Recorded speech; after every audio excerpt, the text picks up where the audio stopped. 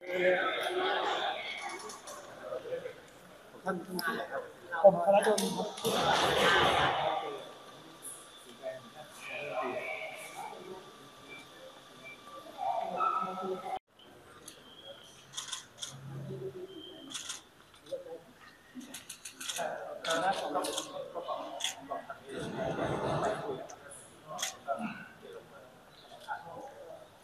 เรียนพี่นักข่าวนะครับพอดีก็จะขออนุญาตไป พบท่านรัฐมนตรียุติธรรมก่อนนะครับกับท่านอธิบดีกรมปศุสัตว์แล้วเดี๋ยวปรึกษารือก็ประมาณไม่เกิน45นาที แล้วเดี๋ยวเราก็จะลงมาแถลงร่วมกันขอความกรุณาที่พี่ทุกท่านด้วยนะครับวาระที่ประประเด็นการพูดคุยอะค่ะจริงๆแล้วอยากจะให้ปรึกษาหารือก่อนแล้วเดี๋ยวค่อยมาแถลงร่วมกันเลยนะครับขอบคุณครับมีสองเรื่องเรื่องธรรมะธรรมะลิฟต์นิดนึงใช่ไหมครับเอาลิฟต์เลยครับ ท่านท่านขอขอบคุณนะครับพี่เข้า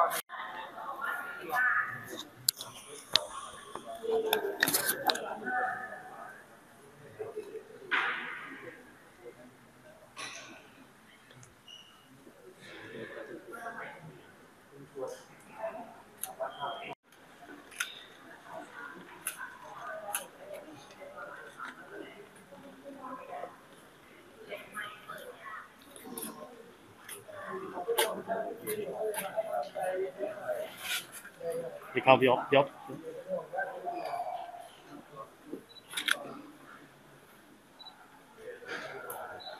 นี่นะคะใส่แว่นอ่ารู้แล้ว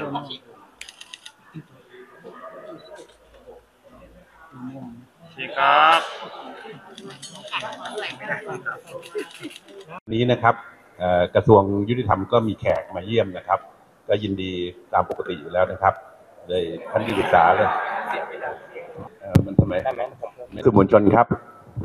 วันนี้กระทรวงยุติธรรมก็มีแขกจากกระทรวงเกษตรมาเยี่ยมนะฮะประกอบด้วยท่านที่ปรึกษารัฐมนตรีว่าการกระทรวงเกษตรนะครับ ท่านอธิบดีกรมปศุสัตว์รองทิบดีนะฮะแล้วก็ข้าราชการกรมปศุสัตว์นะฮะเอ่อก็มาคุยพูดคุยกันมีการนัดหมายกันล่วงหน้าแล้วว่าวันนี้นะครับเอ่อจะมาอธิบายเรื่องที่ประชาชนยังสนใจอยู่ในการดำเนินการของ หน่วยงานในสังกัดกระทรวงยุติธรรมคือกรมสอบสวนคดีพิเศษนะฮะเรื่องหมูกับเรื่องไก่นะฮะก็ผมในฐานะที่ปรึกษารัฐมนตรีว่าการกระทรวงยุติธรรมก็ได้รับทราบนะฮะแล้วก็พูดคุยกันในฐานะที่เป็นเพื่อนข้าราชการการเมืองนะฮะแล้วก็ทางข้าราชการชั้นผู้ใหญ่ของกระทรวงเกษตรนะฮะทิบดีชวนทิบดีกรมปศุสัตว์นะครับทุกอย่างนะครับกระทรวงยุติธรรมยืนยันนะครับ โดยท่านรัฐมนตรียืนยันว่า เราจะทำตามพยานหลักฐานนะฮะที่แท้จริงนะครับไม่มีการกันแกล้งใครเป็นพิเศษ ไม่มีเรื่องการเมืองอะไรทั้งสิ้นทุกอย่างต้องเป็นวิทยาศาสตร์ก็คือหลักฐานที่รับสั่งได้นะครับ ก็ได้ประสานกับทางเจ้าหน้าที่คือดีเอสไอเรียบร้อยแล้ว ซึ่งหลังจากนี้นะครับก็อยู่ที่ความสะดวกของฝ่ายที่ทางด้านที่มีกรมปศุสัตว์หรือคณะนะครับที่ถ้าหากว่าท่านประสงค์ที่จะ ชี้แจงรายละเอียดนะฮะท่านก็สามารถดำเนินการได้นะฮะทั้งด้วย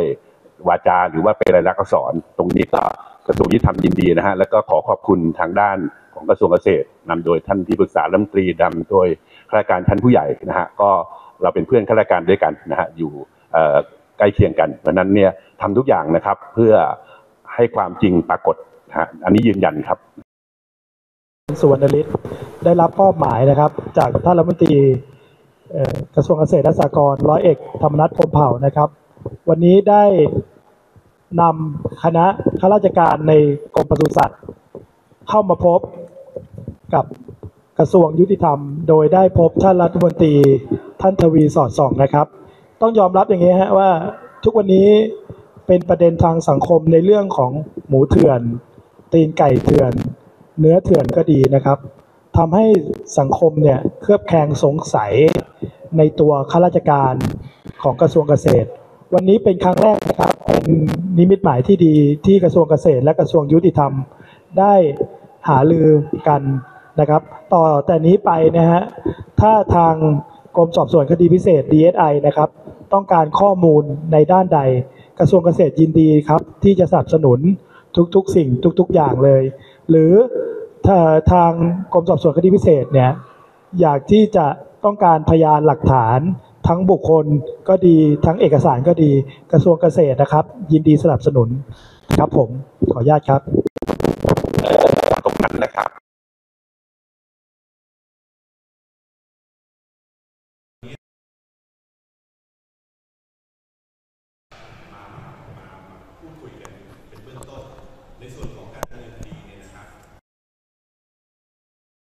คำว่าหมายเรียกคงคงายเรียกนะครับ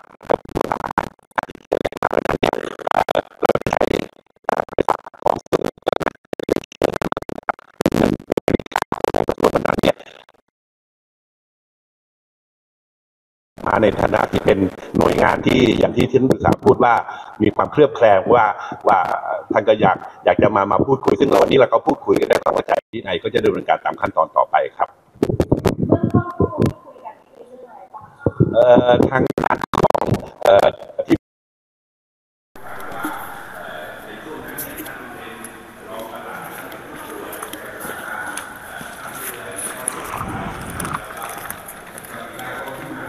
จะมีขั้นตอนตั้งแต่เป็นในด่านเป็นอะไรพวกตรวจว่ากรรมวิธีทำอย่างไร ที่เป็นเล่าเบื้องต้นเท่านั้นเองครับท่านมีกระแสข่าวมาว่าการ ไม่มีเลย เป็นไปไม่ได้ครับว่าเเรื่องทุกเรื่องนะครับทุกเรื่องที่ถ้าหากเขาจะขอระงับเขาคงไม่มาเปิดเผยกันอย่างนี้แหละครับเขาคงไปพูดกันลับๆอันนี้พูดพูดพูดแล้วเป็นข้อที่จริงตามนั้น แล้วก็ยืนยันครับ ผมอยู่ในบรรยากาศตั้งแต่ผมลงมารับแต่ครั้งล่างพาขึ้นไปพบท่านตีท่านไม่ได้มีภารกิจแต่ก็เมื่อท่านผู้ใหญ่มาท่านก็มาพูดคุยเนี่ยไม่มีแม้กระทั่งคำเดียวที่เขาขอว่าอย่าอย่าทำอะไรแต่ผมไม่ใช่ครับ มีแต่เดียวว่าเราจะร่วมมือกัน เพื่อให้ข้อมูลซึ่งกันและกัน หมายว่าทางฝั่งนี้เป็นพนักงานสอบสวนเนี่ยก็พร้อมทางฝั่งนี้ก็พร้อมที่จะให้ความร่วมมือเพราะนั้นเนี่ยไม่จริงครับที่จะมาบอกว่าเขาคงไม่มาเปิดเผยมั้งถ้าถ้าหากว่ามันมีเรื่องจริง แล้วก็กระทรวงยุติธรรมยุคนี้คงไม่มีใครกล้ามาขอแล้วครับ ท่านรัฐมนตรีไม่ไม่ไม่ไม่ไม่ดำเนินการอย่างนั้นแน่นอนครับ เนี่ยคณะเข้ามาแล้วกับการพูดคุยเนี่ยทางกรมบริษัทพร้อมที่จะให้ข้อมูล ถ้าทางดิสไอต้องการประการใดในหลักฐานหลักฐานก็ขอให้แจ้งไปได้เลยนะฮะนี่นี่ก็คือประสานไปกับดิสไอว่าเอ่อทำได้โดยโดยโดยตามปกติของท่านเลยนะครับไม่แต่ว่ายืนยันครับไม่มีการมาขออะไรทั้งสิ้นเราลองช่วยยืนยันดิก็ว่าก็ออะไรก็อย่างนี้ฮะขอยืนยันนะครับท่านรัฐมนตรีว่าการกระทรวงเกษตรและสหกรณ์ร้อยเอกธรรมนัฐพมเผ่าเนี่ย ได้สั่งการนะครับ เป็นคำสั่งออกในหนังสือเลยว่า ถ้าข้าราชการสามกรมกรมปศุสัตว์กรมประมงกรมวิชาการเกษตร ถ้าพบว่ามีการทุจริต นอกจากจะตั้งคณะกรรมการสอบสวนทางวินัยแล้ว ก็จะดำเนินคดี 157 ด้วยนะครับ ท่านรัฐมนตรีธรรมนัฐไม่ปกป้องคนที่กระทำความผิดขอยืนยันครับ แล้ววันนี้การที่เข้ามา พูดคุยพบปะหารือเป็นการแลกเปลี่ยนข้อมูล ซึ่งกรมสอบสวนคดีพิเศษเนี่ยยังไม่สามารถเข้าถึงข้อมูล ในเรื่องของการที่เวลาผู้ประกอบการ หรือผู้ที่เป็นผู้ต้องหาอยู่เนี่ยได้นำตู้เข้ามา ซึ่งจะต้องมาขอใบเซอร์ใบอนุญาต จากกรมปศุสัตว์ แล้วก็กรมประมง ซึ่งเราก็มาประสานงานกันว่าท่านต้องการข้อมูลอะไรในช่วงวันเวลาใด อันนี้คือสิ่งที่มาประสานงานวันนี้ครับ แล้วก็ถ้ามีหลักฐานนะฮะออกหมายจับไปเลยครับนะครับ ไม่ต้องมาเกรงอกเกรงใจกัน แต่วันนี้ยืนยันครับว่าการมาพบปะหารือกัน ไม่เคยมีการพูดกันในเรื่องของการขอไม่ออกหมายจับครับ เอออย่างนี้ฮะต้องต้องต้องอย่างนี้ฮะผมเนี่ยไปรองหัวหน้าชุดพญานาคราชนะครับ เป็นโฆษกชุดพญานาคราชด้วย แล้วตำแหน่งก็คือเป็นที่ปรึกษาของรัฐมนตรีว่าการกระทรวงเกษตรและสหกรณ์ด้านกฎหมาย ผมเนี่ยได้ลงพื้นที่เข้าไปจับกลุ่มห้องเย็น พอจับกลุ่มพื้นที่ที่ไหน เราตั้งกรรมการสืบหาข้อที่จริงก่อน พอตั้งกรรมการสืบหาข้อที่จริงแล้ว เราก็ถ้าพบว่ามีการผิด เราจะตั้งคณะกรรมการสอบสวนวินัยร้ายแรง ซึ่งตอนนี้เราทำแล้วครับ เราดำเนินการแล้วครับ จากที่ผ่านมาเนี่ยเราพบพบว่าเอ่อคนในหน่วยงานเราเข้าไปเกี่ยวข้องกับพวกนี้เยอะมากน้อยแค่ไหนครับเออผมไม่ปฏิเสธ แล้วผมก็ไม่ได้ยอมรับสัทีเดียว แต่ผมก็จะพูดในลักษณะว่า ไม่มีองค์กรใดที่จะมีคนดีตลอด และไม่มีองค์กรใดที่จะมีคนที่ไม่ดีตลอดไป ส่วนคนที่ไม่ดี เราก็มีวิธีจัดการในกระบวนการของเรา ซึ่งเรามีระบบของเราก็คือในเรื่องของการตั้งกรรมการสอบสวน ถ้าพบแล้วเราก็จะดำเนินคดีไปนะครับ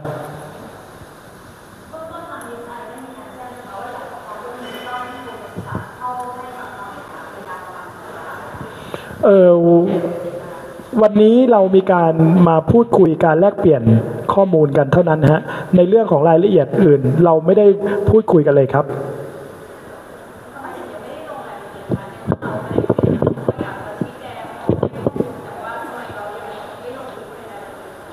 ยังไม่ได้พูดคุยกันนะฮะวันนี้การที่มาคุยกันเนี่ยพูดคุยกันว่าเรามีข้อมูลอะไร กระทรวงเกษตรกรมปศุสัตว์กรมประมงกรมวิชาการเกษตรเรามีข้อมูลอะไร คุณอยากได้ข้อมูลของเราไหมคุณจะได้ข้อมูลของเรา หรือข้าราชการคนไหนที่เราไปเกี่ยวข้องเนี่ย คุณจะเรียกเนี่ยคุณดำเนินการได้เลยครับ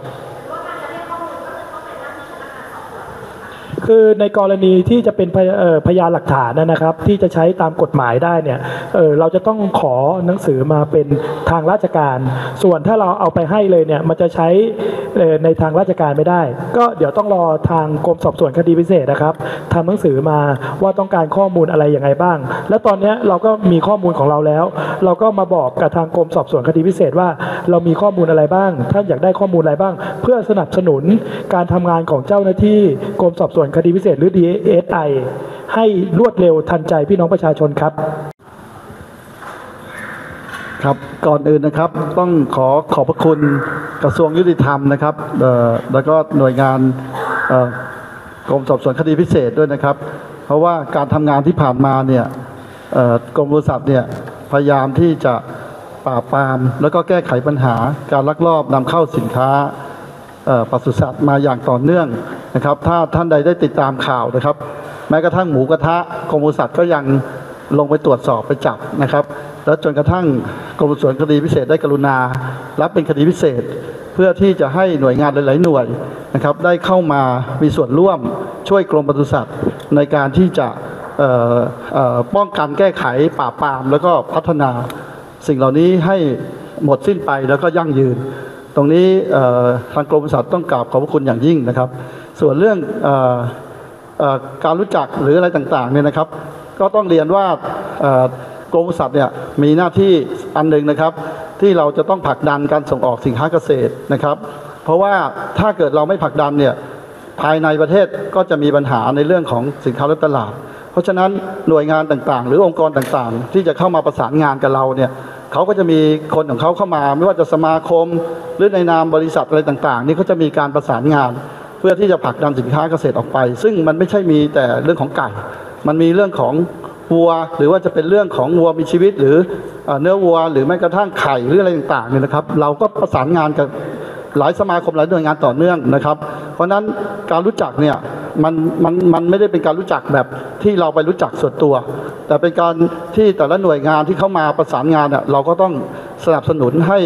มีกระบวนการทำงาน แต่ทุกอย่างต้องถูกต้องตรงไปตรงมานะครับ แล้วก็กรมบริษัทไม่ได้ทำธุรกิจนะครับคนที่ทำธุรกิจคือพวกบริษัทเอกชนต่างๆ ตรงนั้นเนี่ยเขาต้องไปแมทชิ่งกันเองอะไรเอง เราก็ไม่ได้รับทราบนะครับรับทางสังคมเนื่องจากว่ามันมีรูปถ่ายออกไปนะ เราต้องมีรายอมรับได้ คนพวกเนี้ยตอนที่มาถ่ายรูปเนี่ย มันไม่ได้มีคดีความ ไม่ได้มีประเด็น เราก็ไม่รู้ว่าเขาเป็นใคร แต่รู้ว่าคนคนนี้เขาเป็นคนที่เชื่อมโยงระหว่างการค้าไทยกับจีน ซึ่งต่อมาพอมันมีประเด็นทางข้อกฎหมายที่เข้าไปในส่วนของกรมสอบสวนคดีพิเศษดีก็เอารูปตรงนี้มาเปิด พอรูปเปิดมาเราก็กลายเป็นจำเลยของทางสังคม แล้วก็ไปบอกว่าอธิบดีเนี่ยรู้จักกันเป็นการส่วนตัว ผมจะบอกให้นะครับ จริง ๆ เนี่ย บริษัทพวกนี้เวลามาติดต่อประสานงาน ก็เข้ามาขอถ่ายรูป ก็เข้ามาขอถ่ายรูปกับท่านรัฐมนตรีผมบ้างพอถึงเวลาออกไปก็บอกว่ารู้จักกัน จริง ๆ ไม่รู้จักกันหรอกครับ ก็ยืนยันเลยว่าถ้าเฮียเก้ากระทำความผิดก็ว่ากันไปตามกระบวนการกฎหมาย ถ้าอธิบดีของผมเนี่ยได้พบว่ามีการกระทำความผิดก็ว่ากันไปตามกฎหมายครับ ส่วนในการที่จะรู้จักหรือไม่รู้จักกันเนี่ยท่านอธิบดีท่านก็ตอบชัดไปแล้วนะครับนั้นมีคำถามอื่นอีกไหมครับ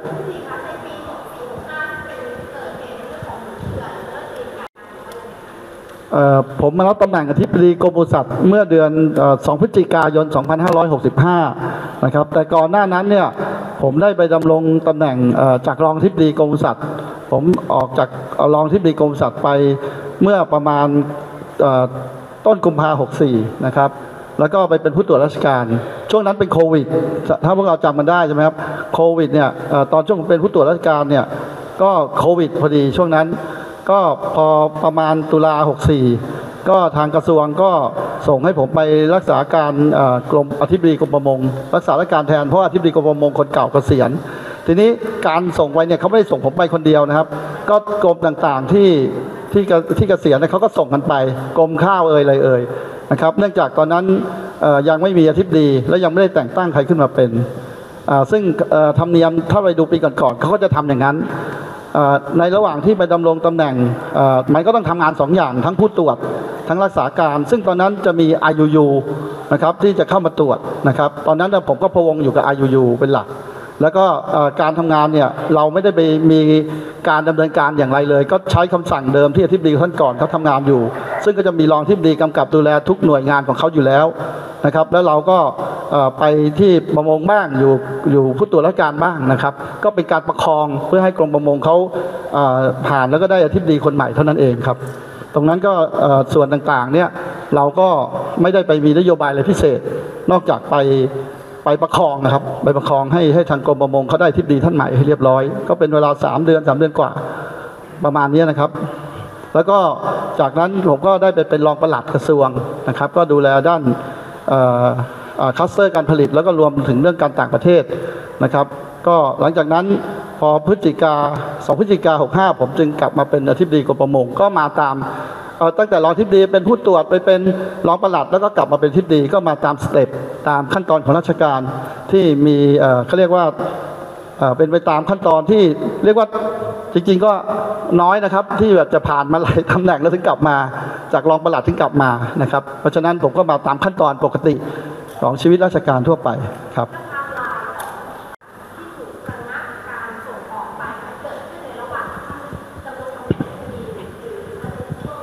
อันนี้เดี๋ยวผมตอบให้ชัดเองเลย เนื่องจากผมได้รับมอบหมายจากท่านรัฐมนตรีว่าการกระทรวงเกษตรและสหกรณ์ร้อยเอกธรรมนัฐพลเผ่า ให้มาลงมาตรวจสอบเรื่องนี้โดยตรงเลยนะฮะ ต้องคือตอนนั้นเนี่ยท่านสมชวนเนี่ยขึ้นตำแหน่งก่อน คือไปประมาณช่วงเดือนกุมภาไปเป็นตำแหน่งของผู้ตรวจอะพอท่านไปเป็นผู้ตรวจแล้ว บริษัทเนี้ยก็ได้รับการอนุญาตส่งออกไปที่ประเทศจีนนะครับ วันที่ 31 มีนา 2563 แล้วเขาก็มีการผลิตของเขาเนี่ยในระแบบระนาบปกติเลย แต่เผอิญว่า ช่วงปี 64ครับ ที่ผมได้เข้าไปตรวจสอบอยู่เนี่ย มันกระโดด คือจากปกติผลิตได้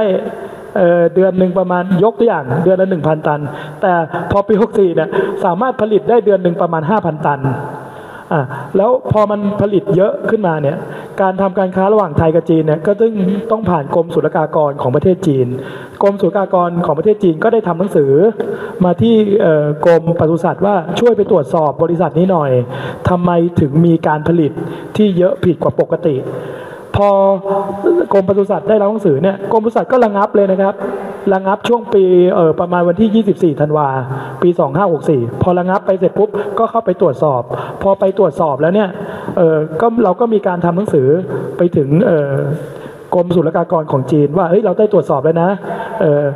มันมันดำเนินการไปแล้วนะ แต่ทางการจีนเขาไม่เชื่อ เพราะเขาไม่เชื่อตั้งแต่วันที่ 24 ธันวาปี 64 ถึงปัจจุบันเนี้ยก็ไม่ได้มีการส่งออกไปที่ประเทศจีนอีกเลยในเรื่องของขาไก่เพราะโรงงานนี้ครับอ่าใช่เพราะโรงงานนี้เลย เพราะโรงงานนี้เลยโรงงานเดียว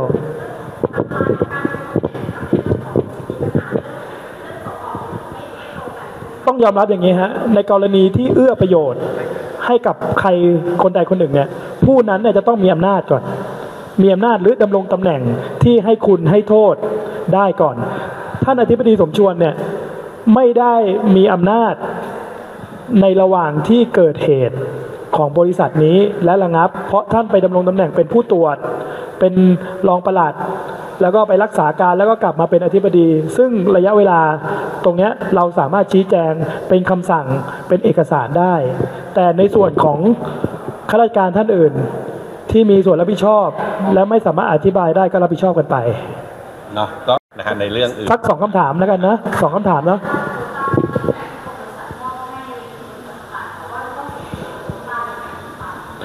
อธิบายอย่างนี้ฮะกรมปศุสัตว์เราเนี่ย ไม่ได้มีอำนาจ ในการที่จะไปมอบอำนาจ ว่าใครจะต้องมีโคต้าเท่าไหร่ ส่วนเท่าไหร่ การค้าเนี่ยเป็นระหว่างของเอกชนกับเอกชนทำการค้ากัน แต่กรมปศุสัตว์เนี่ยจะต้องรับรองในเรื่องของการถูกลักษณะสุขอนามัยว่าไก่ตรงนี้นะขาไก่ตรงนี้นะชิ้นส่วนตรงนี้นะได้มาตรฐานตามกฎกติกาของประเทศที่เราจะส่งไปเท่านั้นเองกรมปศุสัตว์ไม่ได้มีหน้าที่ในการไปติดต่อค้าขาย การติดต่อค้าขายเป็นระหว่างเอกชนสู่เอกชนกรมปศุสัตว์ มีหน้าที่คือตรวจสอบ ว่าอันนี้ถูกต้องนะ บริโภคได้นะ มีที่มาที่ไปยังไง แล้วฝั่งนู้นเขาถึงจะรับ อันนี้เป็นหน้าที่ของกรมปศุสัตว์กรมปศุสัตว์ไม่ได้มีหน้าที่ให้โควต้าใครกรมปศุสัตว์ไม่ได้มีหน้าที่ไปทำการค้ากับใครครับนะคำถามสุดท้ายเนาะคำถามสุดท้ายนะคำคำถามสุดท้ายเชิญครับคือต้องยอมรับว่าตอนเนี้ย บริษัทตรงเนี้ยไอ้ที่เกิดคดีความเนี่ยสร้างปัญหาให้กับผู้ประกอบการรายอื่นมาก พอมันเกิดปัญหาเนี่ยการตรวจเข้มเนี่ยของทางกรมศุลกากรจีนน่ะก็เข้มข้นมากขึ้นกว่าเดิมหลายเท่า ก็ทำให้การส่งออกของปัจจุบันนี้ก็มีปัญหาไปกระทบกับบริษัทอื่นต่อไปนะฮะอันนี้ก็ขออนุญาตโทษโทษนะครับ ผมขออนุญาตนิดนึงครับ ข้อมูลนิดเดียวนะครับ คืออที่บริษัทที่เขากระทบเนี่ยเขาถูกปิดไปตั้งแต่ปี 64 นะกรมบริษัทปิดไปแล้ว แล้วก็ไม่ได้เปิดให้อีกเลยส่วนอื่นๆเนี่ยก็ออกได้ตามปกติโรงโรงงานอื่นตอนนี้ออกได้ประมาณ 22 โรงงาน แล้วกำลังจะได้อีกออสองโรงงาน ซึ่งเอ่อ GNCC สุกากรจีนเนี่ยได้ตรวจประเมินแล้วก็รอรอคำสั่ง คือเรากำลังขยายออกขึ้นเรื่อยๆ แล้วเราท่านรัฐมนตรีกำลังจะไปเซ็น MOU เรื่องเครื่องในเป็ด แล้วก็ขาเป็ดด้วย ที่ไปเซ็นพิธีสารเครื่องในเป็ดเอ่อแล้วก็น้ำผึ้งอีกนะครับเอ่อระหว่างไทยกับจีนเนี่ยการค้าเราสัมพันธ์ดีฉันพี่น้อง เพราะฉะนั้นก็อยากจะให้พี่น้องสื่อเออมวลชนหรือประชาชนเนี่ยได้มั่นใจในระบบของการทำงานของกรมบริษัทที่จะขยายการค้าระหว่างไทยจีน ซึ่ง สิ่งที่สำเร็จออกมาเนี่ยมันไม่ใช่แต่ฝ่ายไทย เพราะเราต้องร่วมกับฝ่ายจีนทั้งสองฝ่ายต้องเข้าใจกันและต้องร่วมมือกันนะครับ ถ้าเราฝ่ายเดียวเขาก็ไม่ให้เขาฝ่ายเดียวเราเราก็ไม่ได้ขายไปนะครับส่วนเรื่องธุรกิจการค้าเป็นเรื่องของเอกชนที่ได้รับอนุญาตแล้วไปว่ากันเอาเองกรมสัตว์ไม่เกี่ยวข้องและไม่ยุ่ง แล้วไม่รู้ด้วยซ้ำว่าบริษัทไหนของใครอย่างไรนะครับอันนี้ชัดเจนนะครับโอเคนะฮะก็ขอบพระคุณนะครับว่าที่ท่านเล่าเนี่ยก็เล่าให้พวกเราฟัง แต่ว่าทุกอย่างเนี่ยก็อยู่ในดุลพินิจของพนักงานสอบสวนคดีพิเศษที่จะดำเนินการต่อไปกระทรวงยุติธรรมยังยืนยันว่าเเราจะตามตามความเป็นจริง ในหลักวิทยาศาสตร์ที่รัฐมนตรีได้มอบนโยบายทุกหน่วยทุกท่านทำเพราะนั้นเนี่ยในการที่กระทรวงเกษตรพูดหรืออะไรพวกนี้ก็เราเราได้ยินหมดแล้ว แต่ก็ต่อไปก็เป็นหน้าที่ของพนักงานสอบสวนกรมคดีพิเศษสอบสวนคดีพิเศษที่จะดำเนินการต่อไปตามขั้นตอนของท่าน ไม่กระทบกับกระบวนการทำเพียงแต่ว่าวันนี้ได้รับคำยืนยันกระทรวงเกษตรว่าพร้อมที่จะให้ความร่วมมือในการส่งมอบที่ว่าข้อมูลต่างๆ ที่ทางกระทรวงยุติธรรมต้องการ วันนี้ก็คงขอเอาแค่นี้เนาะท่านสื่อมวลชนนะฮะสั้นๆสั้นๆคือพอดีอาจจะมีสื่อติดใจนิดนึงว่าเอ๊ะเมื่อกี้น้องได้ถามว่าได้มีการสอบอะไรไหมทุกเคสนะครับที่เป็นข่าวต่อสื่อมวลชน และก็เป็นประเด็นที่สงสัยกรมบริษัทตั้งกรรมการสอบหมดแล้ว แต่เพียงแต่ว่าเราคงไม่มาออกมาโฆษณาว่าเราทำอะไร แล้วก็ทำงานของเราตามระบบของเราตามระบบราชการครับ โอเคฮะขอบคุณนะฮะขอบคุณครับ ขอบคุณครับ โอเค ขอบคุณครับ ขอบคุณกรมครับ